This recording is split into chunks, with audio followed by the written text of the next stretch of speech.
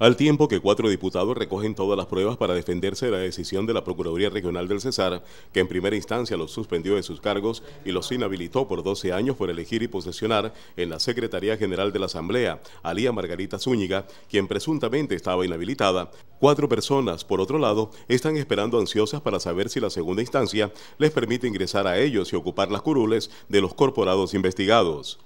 Los afectados por la medida son dos liberales, Celso Vides Córdoba, presidente de la Asamblea, y Eduardo Esquivel López, una conservadora, Lucelena Salazar, y uno del Partido Alianza Verde, Manuel Mejía Payares, quien ya fue presidente de la corporación.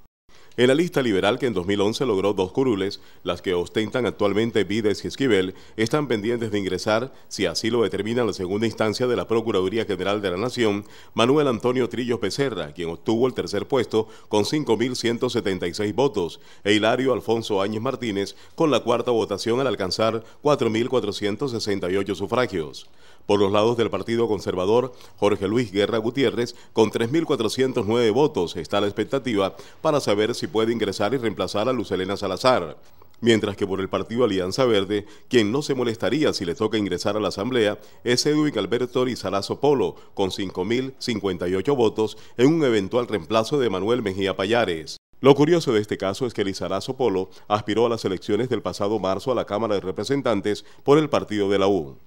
Los cuatro diputados encartados en la Procuraduría están alistando su defensa frente a una Procuraduría delegada para la Vigilancia Administrativa en Bogotá que conoce el caso en segunda instancia.